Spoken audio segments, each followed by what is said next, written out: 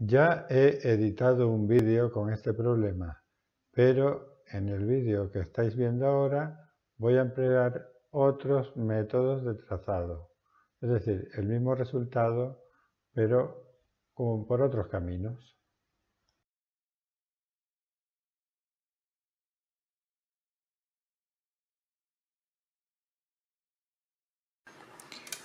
Bueno, una vez leído el problema, me dice que la línea de tierra tiene que estar presentada en el eje central horizontal de la lámina, así que usando la escuadra de cartabón, poniendo esta postura en el borde de la lámina, la escuadra y en su ángulo recto el cartabón, trazo la línea horizontal que va a ser la línea de tierra.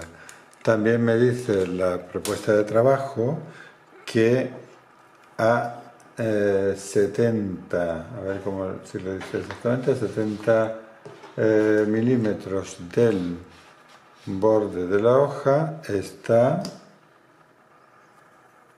el vértice del plano alfa. Y que el ángulo mm, de la traza vertical del plano alfa es 60 y la traza horizontal es 45 con, con el semicírculo graduado. En este caso tengo una línea horizontal que debo hacer coincidir con la línea de tierra y una línea vertical que cruza y que me da el centro del semicírculo graduado. Así que ya he dibujado, pues me pongo, en, coloco la regla en posición, exactamente, por eso tengo que estar mirando muy encima del dibujo y marco 60 grados desde 0 a 60. Aquí estará 60 grados. Y trazo.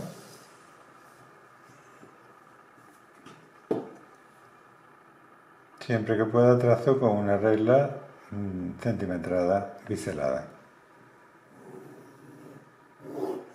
Aquí está por lo tanto alfa 2 y con un ángulo de 45 grados pongo al revés mi semicírculo graduado, lo caso bien la línea horizontal que tiene aquí dibujada con la línea de tierra y esta otra línea con el vértice O y mido de 0 a 40 45 grados. No nos equivoquemos porque entonces malo, malo. Bien. Centro en O, pincho no. Siempre pongo la mina en, en uno de los puntos del, por el que tengo que pasar y arrimo la regla sin pisar la señal para que me deje hueco para mi línea. Bien, pues aquí tengo alfa 1. Si hubiera usado este otro semicírculo graduado, que es de una calidad semejante, pues aquí tengo una crucecita para el vértice del ángulo, hago coincidir este borde con la línea de tierra y la crucecita con el vértice. Y me marca 60 grados, marco 60 grados y al revés pues 45 grados haciendo la misma operación y siempre procurando ser muy exacto con, el, con la colocación del semicírculo graduado. Como las reglas no son de altísima precisión, hay una pequeña diferencia, así que hay que tener cuidadito y tener un semicírculo correcto. Con 170, bueno no, 140 grados porque son 70, 140 milímetros, son 70 más 70, 140 milímetros al origen. Señalo con el lápiz bien afilado. Y en una perpendicular, para ello puedo usar la escuadra de cartabón o mi reglita de truco. Si uso la regla de truco, ojito con colocar bien el truco para que me salga perfecta la perpendicular y con cota 50 milímetros, es decir, 5 centímetros.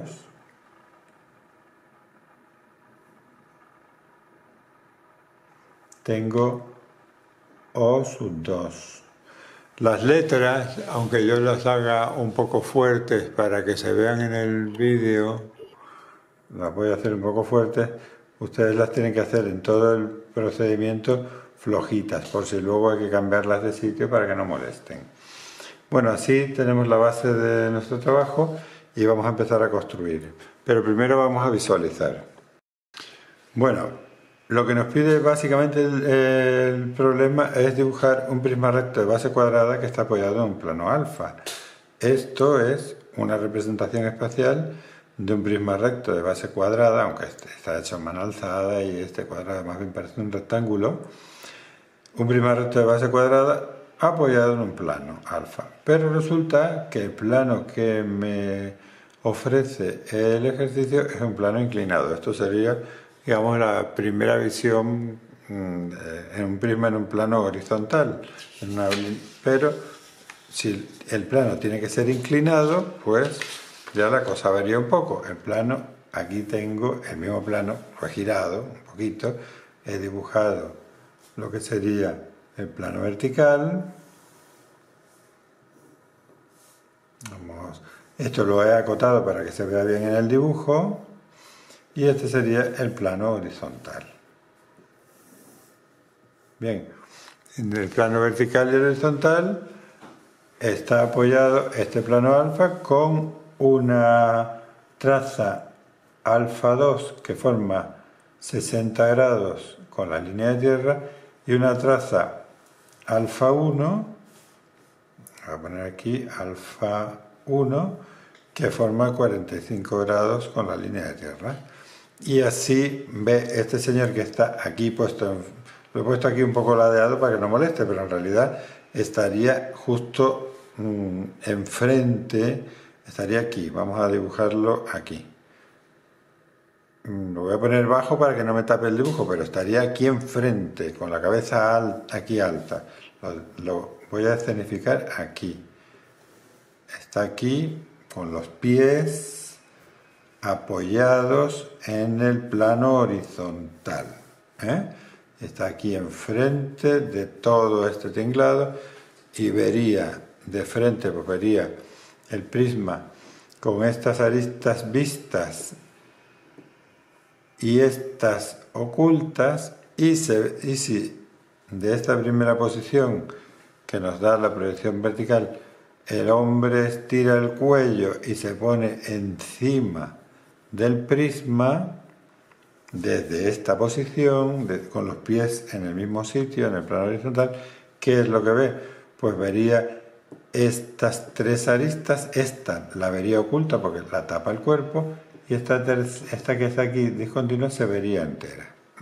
Así que desde, desde abajo, o sea, vamos a poner, desde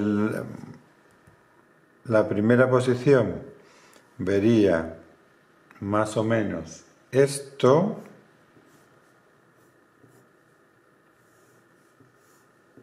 en proyección vertical y en proyección horizontal puesto encima del, prisma vería pues más o menos algo así, vería, no sé cómo quedará el cuadrado de la base superior y vería estas tres aristas y esta la vería oculta,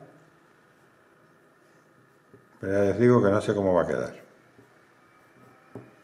Aquí, proyección vertical, proyección horizontal, discontinua, discontinua. Una cosa parecida a esto. De todas maneras, las partes vistas y ocultas no las sé con certeza hasta que no realice las proyecciones vertical y horizontal de este, de este ejercicio. Lo principal es visualizar cómo sería el prisma apoyado en un plano horizontal normal y cómo sería el prisma apoyado en un plano oblicuo. Ya si, si prevemos, somos capaces de ver con anterioridad esto, pues ya tenemos algo ganado para solucionar nuestro problema. Como sabemos que el punto O pertenece al plano alfa, mediante una recta horizontal de alfa que pase por O, pues voy a obtener la proyección horizontal del punto O que no me la da el problema. El problema me da la proyección vertical. Pues esta sería la traza vertical de esta recta horizontal que la voy a llamar, pues por ejemplo, la voy a llamar uh, R, por, por ser un clásico, ¿no? R. R2 y traza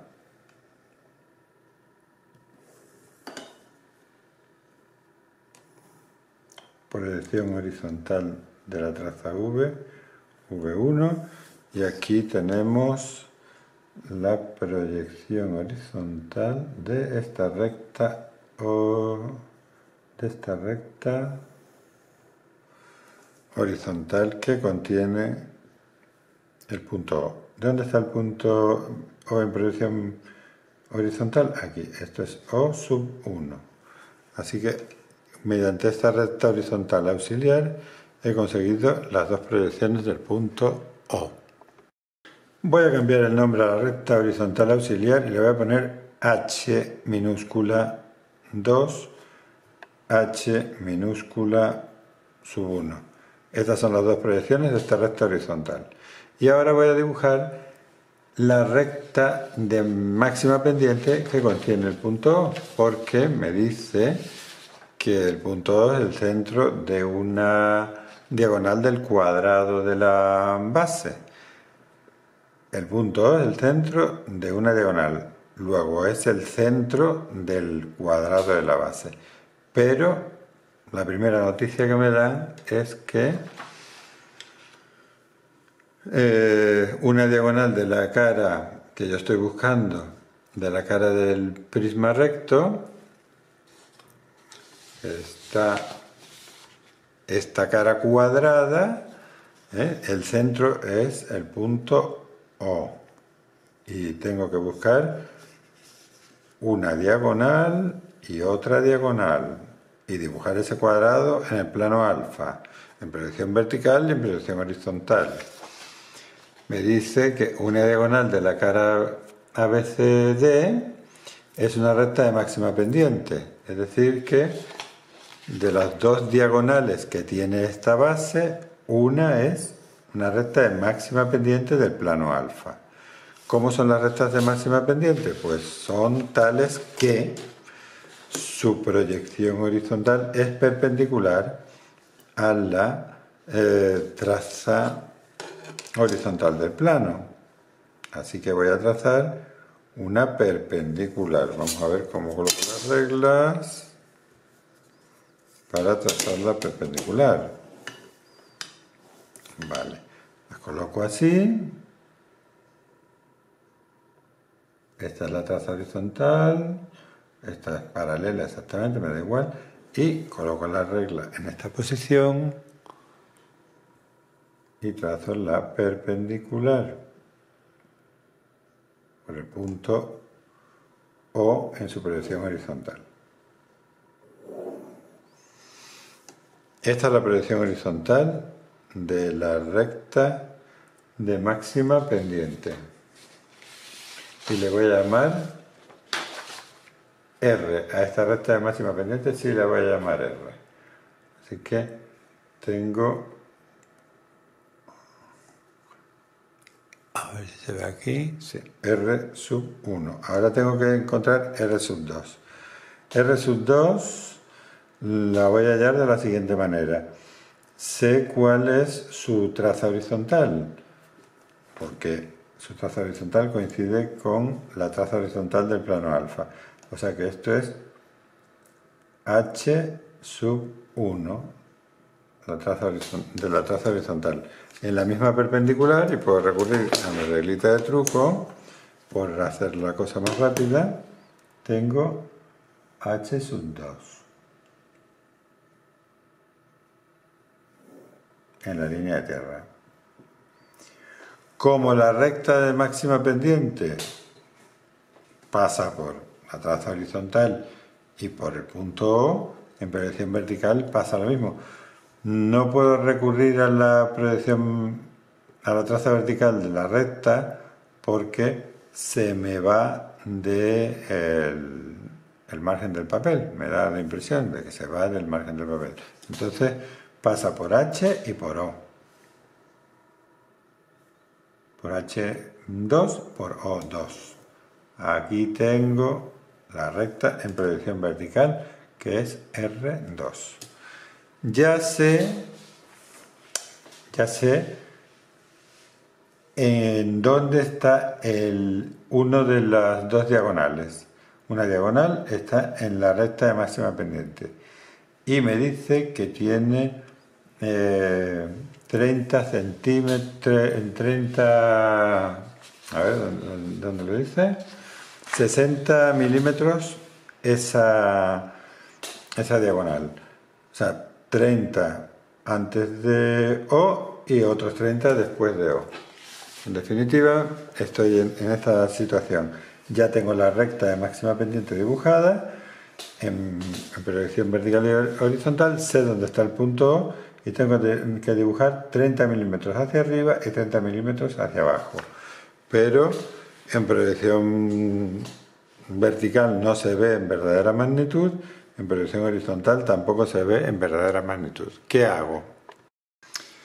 Bien, la recta R es una recta de máxima pendiente del plano alfa.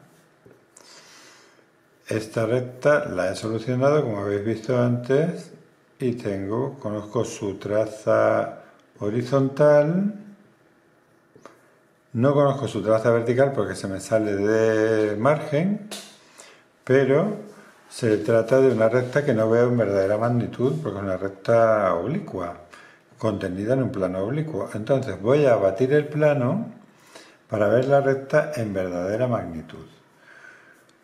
tomo cualquier punto conocido del plano de, la traza horizontal, vertical del plano alfa, como puede ser V, y voy a, eh,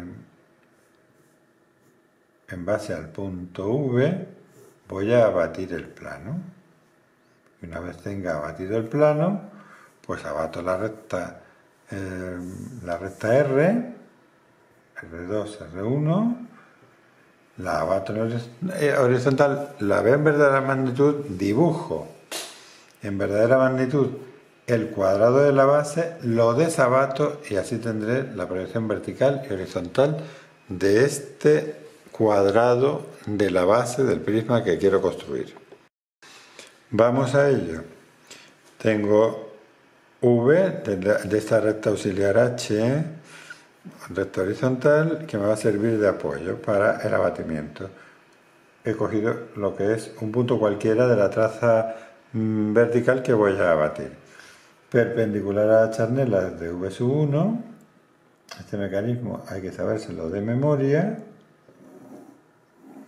Y con el compás, que voy a usar mi compás, digamos, económico, que he apretado sus tornillitos con un destornillador para que no se me despatarre en el trabajo y voy a llevar esta V2 a su nueva posición. Aquí está V2 abatido y aquí está la traza, por aquí pasa la traza alfa 2 abatida. Alfa 2 abatida, se me sale de margen, voy a ver que se vea más. Aquí está, alfa 2 abatida, y le pongo el nombre aquí para que se vea bien. No sé si está bien, yo creo que sí se ve bien en el este. Bien, pues ahora voy a a, batir la recta esta. La recta esta pasa por, está contenido el punto, voy a batir el punto O, que está contenido en la recta horizontal. Pues la recta horizontal pasa por ser paralela a la línea de tierra. Voy a, recurrir a la cuadra de cartabón para trazarla paralela a la a la nueva línea de tierra, que es la charnela, ¿eh? Ojo. la nueva línea de tierra en, el, abatimiento es la charnela. Bien, pues aquí está O. Como ya tengo la proyección horizontal y la perpendicular a la charnela está, este punto es O abatido. Y aquí puedo construir el cuadrado que me dicen. ¿Eh? Ya puedo construir el cuadrado en verdadera magnitud porque tengo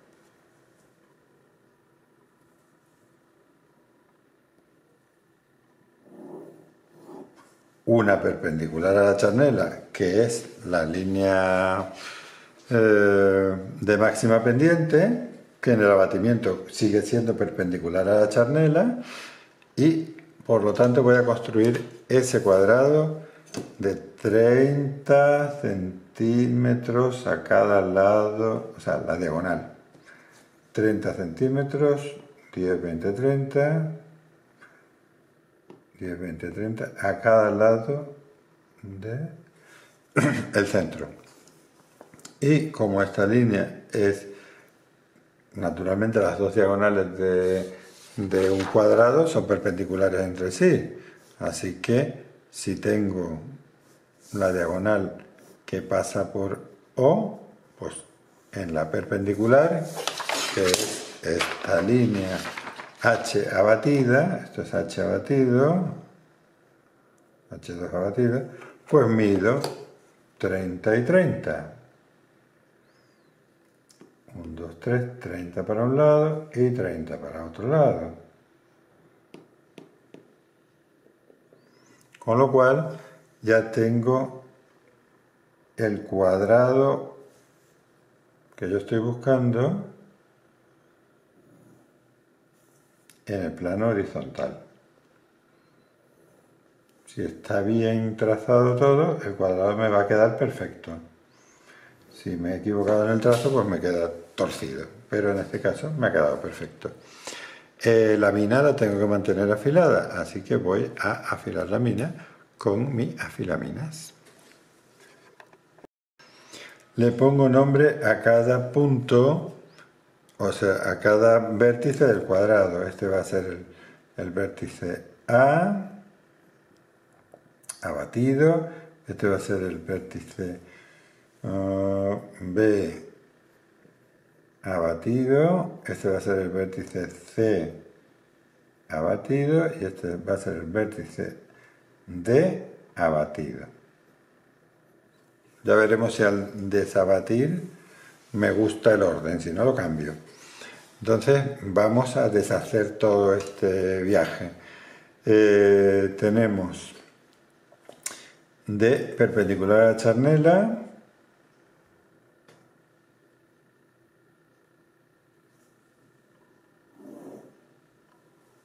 hago líneas auxiliares largas, B perpendicular a la charnela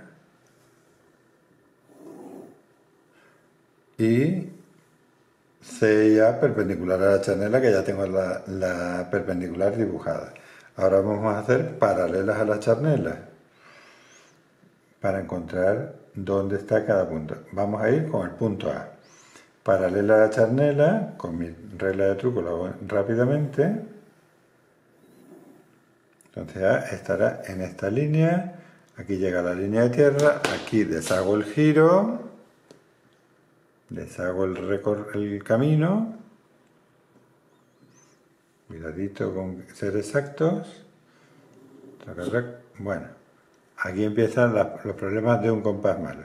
Se me ha ido la, la mina para adentro, pues tengo que sacarla, sacar la mina. Aflojo, nunca saco la nunca saco entera la, la tuerca porque se me pierde. Fijaros el problema que tengo aquí. No sé cómo sacar, pues aflojo esto, saco el portaminas entero y con la misma aguja del compás saco la mina. Vuelvo, aprieto un poquito para que no se me venga para adentro, vuelvo a colocarlo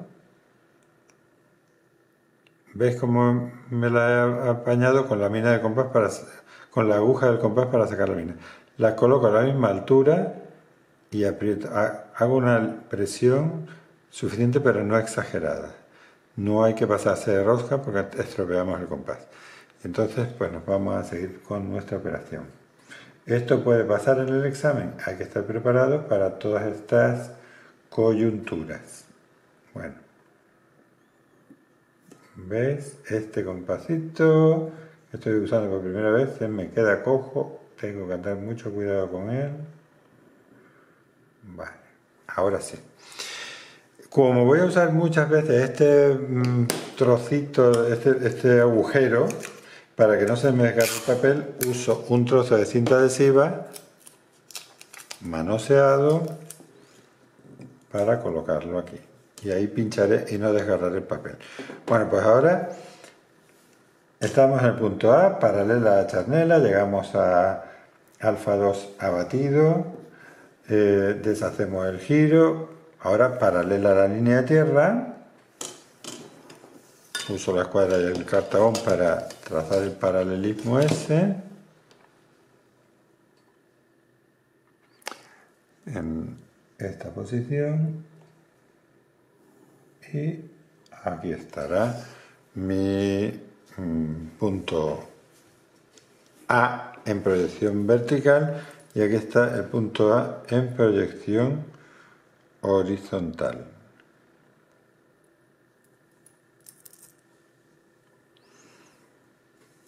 Este sería el V2 de la recta que contiene el punto A. El V1 está naturalmente en la línea de tierra.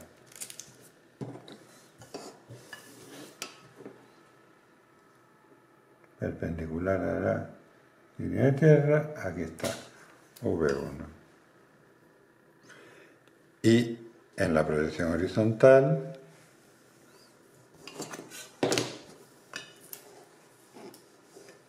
paralela a alfa 1 desde el V1 de A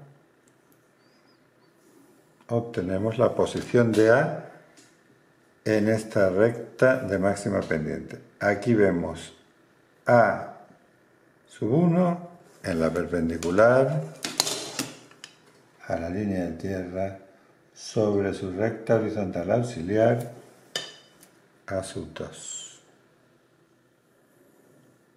que naturalmente coincide con la recta R, recta de máxima pendiente. Aquí está sub 2. Y así haremos con el resto de los puntos. Lo voy a hacer en cámara rápida.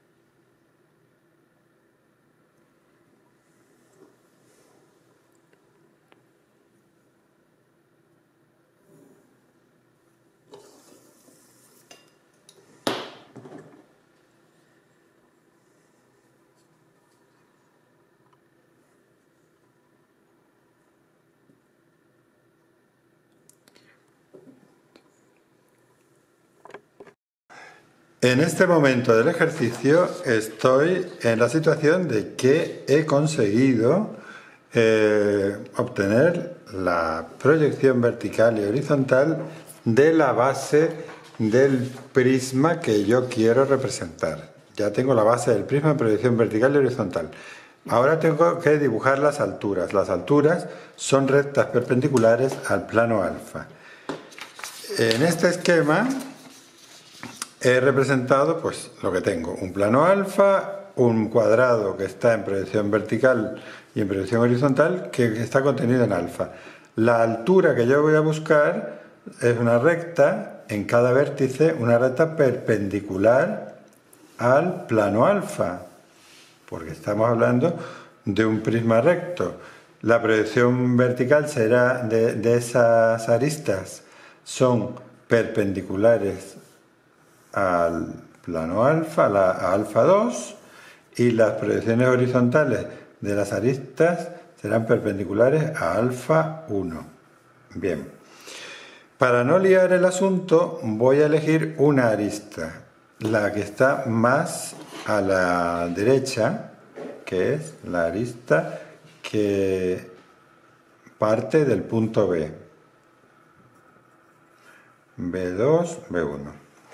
Esta arista, en esta arista voy a ver la, voy a medir la altura del prisma, que es 70 milímetros, pero no lo puedo ver ahora mismo, no lo puedo mm, calcular ahora mismo porque no eh, está recta, la recta que parte de B y que, que, parte de B en proyección vertical y horizontal no es eh, ni perpendicular ni paralela a los planos de proyección. Es decir, que es una recta oblicua.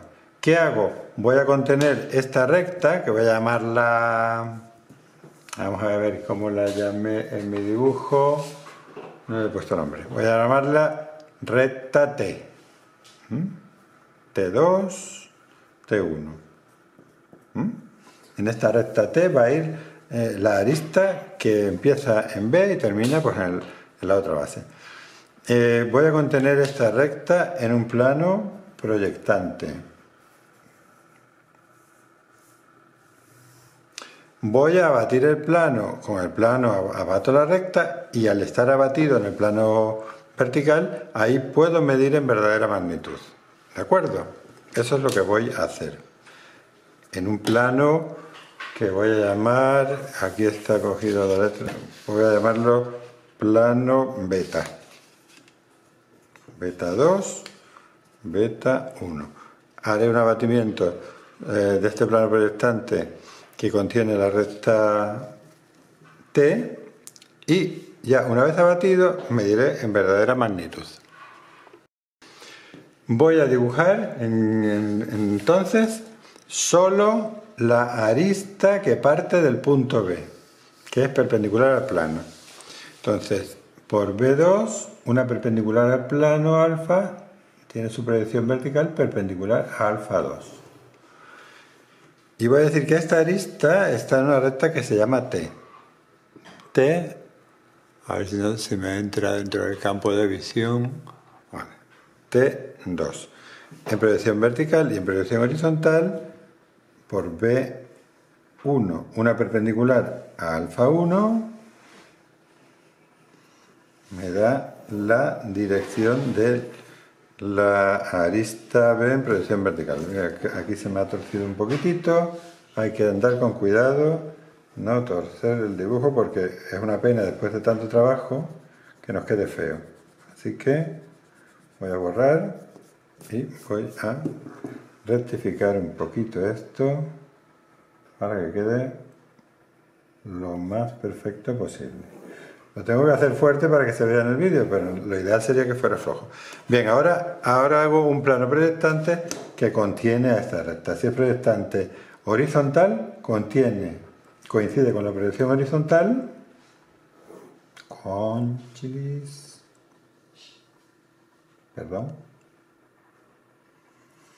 coincide con la proyección horizontal, llega a la línea de tierra, la traza que voy a llamar beta 1 y como es un proyectante horizontal la traza vertical es perpendicular a la línea de tierra. Beta 2. Voy a llevar la recta esta por un abatimiento al plano vertical.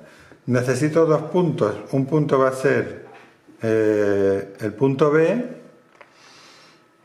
y el otro punto va a ser un punto cualquiera que voy a elegir aquí mismo, que va a ser el punto X. Y va a estar por aquí. X. X1.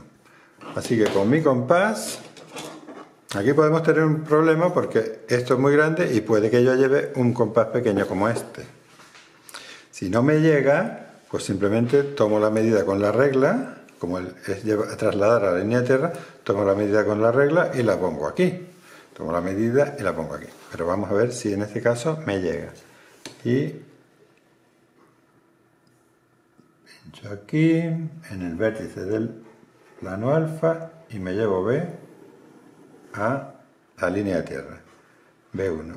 Y pincho aquí y estirando, estirando, estirando, me llevo x1 a la línea de tierra. Pues llegó.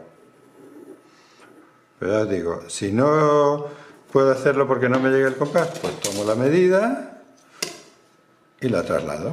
Tomo la medida y la traslado. Bien, aquí está, eh, he llevado la línea de tierra. Ahora, desde B1, B2, perpendicular a la charnela. Sigo con mi reglita de truco. Bueno, voy a hacer una paralela a la charnela por el giro de B y desde B una perpendicular a la charnela. Vamos a ver que salga bien. Bien, aquí tenemos B abatido en el plano vertical. Y el punto X, señalamos su proyección horizontal, vamos a, señalar su proyección vertical, que está en la recta T, naturalmente. Mm, esta regla se me hace cortita, pues recurro.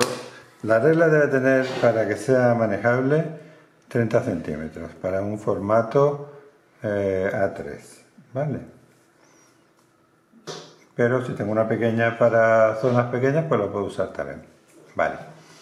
Bueno, pues si casualmente me ha quedado X casi donde toca eh, donde toca T2 a alfa 2, pero eso es una casualidad que no tiene la mayor importancia. Aquí está X2.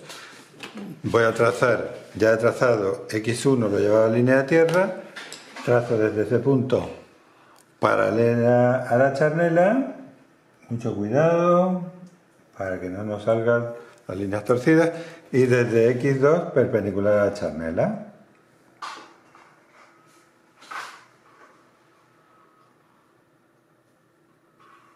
Con mucho cuidadito. Y así obtenemos X abatida. Bien, pues la recta que nosotros estamos dibujando que es la recta T, pasa por B y por X, abatida. Esto será T abatido. Un trozo de T abatido, que contiene a la arista, a esta arista que parte de B. Bien, ahora estoy viendo el segmento Bx en verdadera magnitud. A mí lo que me interesa es que a partir de B haya 7, eh, perdón, 70 milímetros, es decir, 7 centímetros. Pues mido 7 centímetros a partir de B en verdadera magnitud,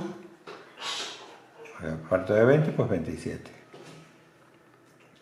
Estos son 7 centímetros en verdadera magnitud. En mi, en mi dibujo, esto es A, esto es B, esto es C y aquí está D. Encima está E, F, G, H. Bien, pues ahora yo sé que el segmento BF de 70 milímetros, de 7 centímetros, es este, BF. Esto es F abatido. Lo desabato. Pues lo dicho, el punto F, que está a 70 milímetros de B, lo llevo a su sitio en la proyección vertical deshaciendo el giro. Tiene esta cota, me apoyo en mi regla de truco, como veis, F tiene una ligera, es ligeramente más alto de cota que el X que tomé así al tuntum para, para girar la recta que pasa por B, la recta T. Esto es T girada, recuerdo. ¿eh? F tiene esta cota, aquí está F2 y, y deshaciendo el giro, pues obtendremos lo que ya obtenemos directamente eh, poniendo el alejamiento correspondiente a esta cota sobre la proyección horizontal T1. Aquí está en proyección horizontal F1.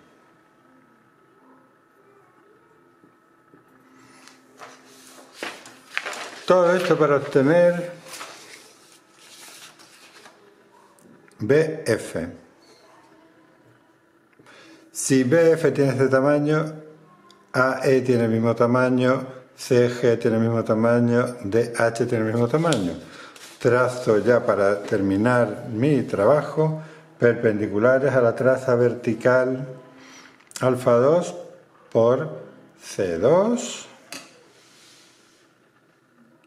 Las hago largas y flojitas. Luego ya por D2.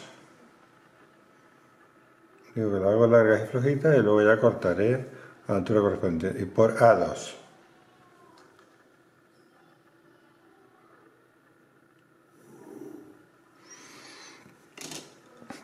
y voy a poner las alturas, o sea, las distancias, igual que BF,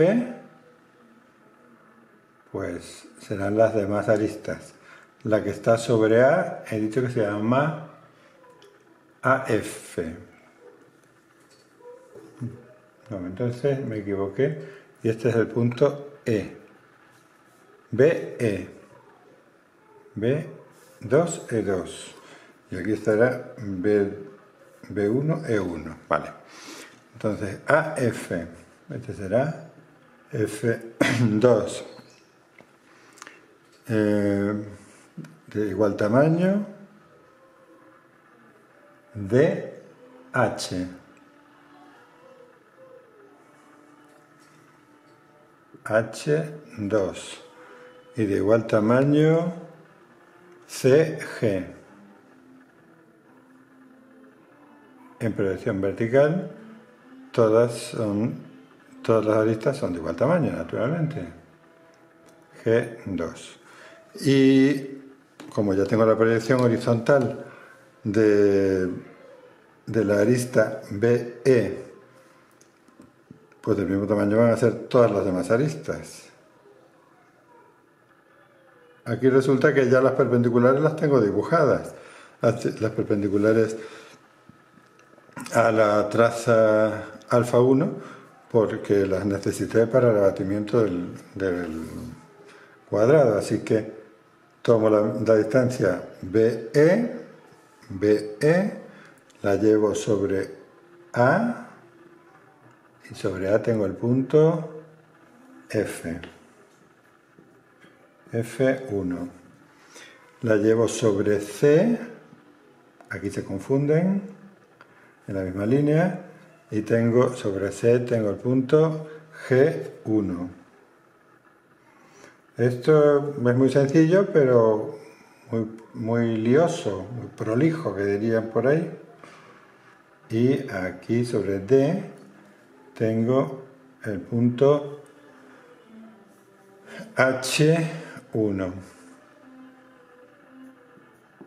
H1. Fijaros que se, que se me lía un poco con el D abatido este, que lo pondré por acá. Este es el punto D abatido. Vale. Bien, pues ahora solo queda distinguir las partes vistas, o sea, terminar de construir la, la, la, base superior. Fijaros que aquí tengo un problema, que al haber abatido, usado el, el abatimiento del plano alfa sobre el horizontal para encontrar el cuadrado de la base en verdadera magnitud y luego desabatirlo, pues se me va un poco a liar el asunto con la proyección con la proyección horizontal de la base superior. FE. Cuidado en estos últimos momentos o fases del trabajo porque con tanto el punto, tanto punto trasladado, tanta historia, nos podemos confundir. Así que hay que ir con pies de plomo para solucionar este problema. Y la base superior en proyección vertical es FH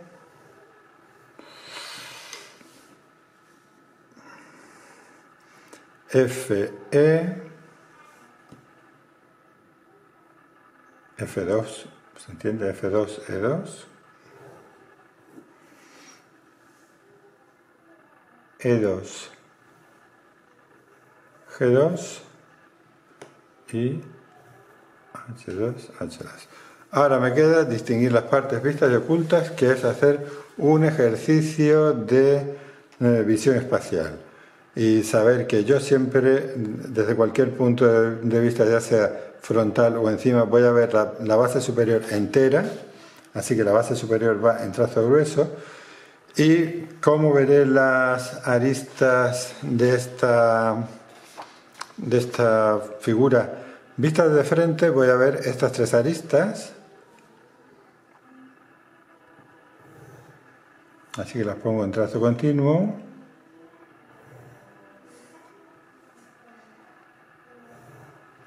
Y visto de frente se me oculta, se me ocultan dos aristas de la base, dos veo y dos no veo. Y esta arista, la arista de H, no se ve. Así que pongo las que sí se ven en, trazo fuerte.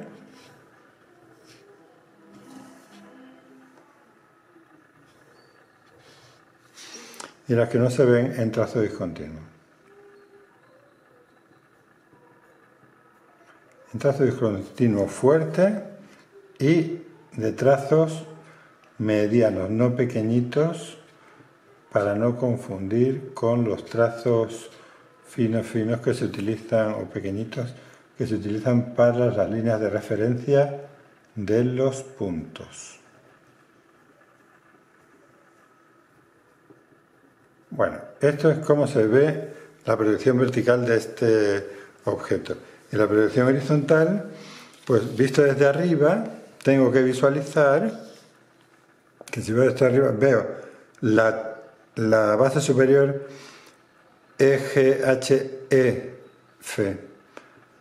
HF, eh, entera, así que los cuatro trazos enteros, veo la arista EB, la CG y la DH las veo enteras porque estoy encima y la que no veo, la que veo oculta es la EA. Así que la EA, perdón, FA, Cuidado con las letras. La FA la veo discontinua. Vale.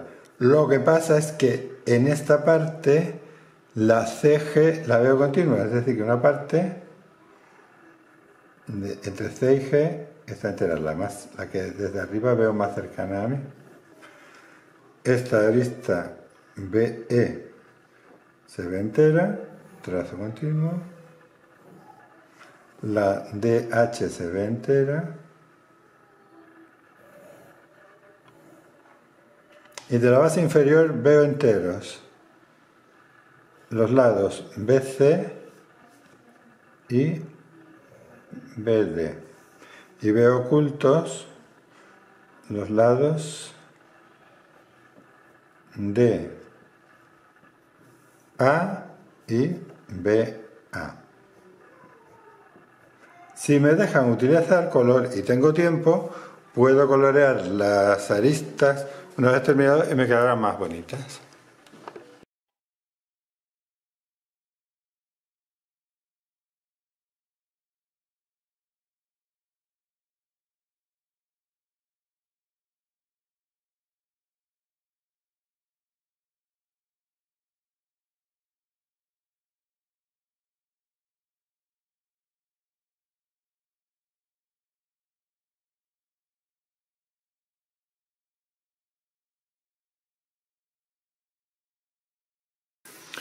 Ojo que el coloreado, si lo permiten, sea para mejorar el dibujo, no para empeorarlo. Así que si no estamos finos con el uso del color, o del lápiz de color, o el lápiz de color no está en condiciones porque se le rompe la punta o lo que sea, mejor no usarlo. Adiós.